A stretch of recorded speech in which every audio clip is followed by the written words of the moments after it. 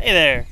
I'm sitting at the base of the Pich tree, not the fruit, but the uh, Mayan Pich tree in the town square of Santa Maria Poniente, and I wanted to give you a little tour of the uh, epiphyte communities, the communities of plants that live on this tree.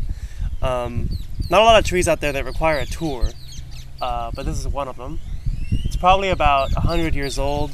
Uh, they say that it was here when the town got started in the 40s. Um, the first thing that, that you notice is that there's a giant palm tree actually embedded in the Pich tree. And you can see there's the top of the palm tree there. Yeah, so it's that's a pretty big epiphyte, I'd say.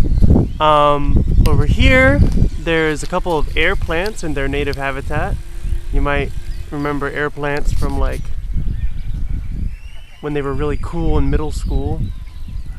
Um, at least I thought they were. Over here, you get a better shot of those air plants. Yeah, there you go. And right next to the air plants, you can see a bunch of cactuses growing, cacti. And you might be surprised to hear cacti uh, when you're practically in a rainforest. Um, but cacti actually do really well up in the trees because um, it's actually a really dry environment.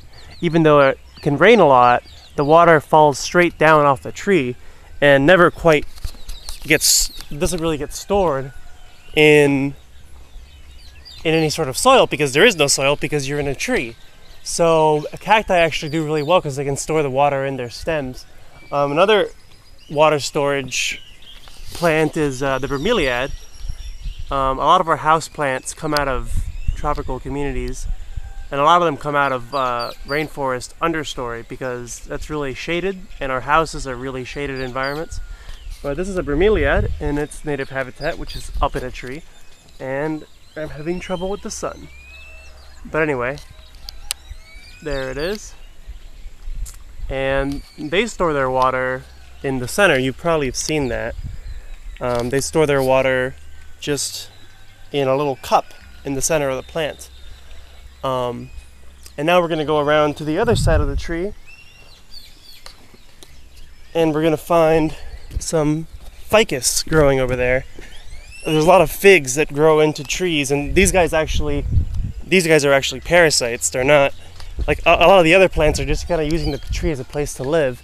These guys are actually sucking nutrients out of the tree. Um, and you can see it right there.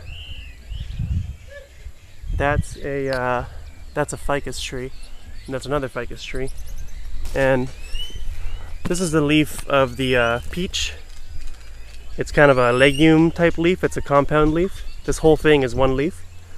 Uh, here's the leaf of the ficus tree. It's a normal kind of broad leaf.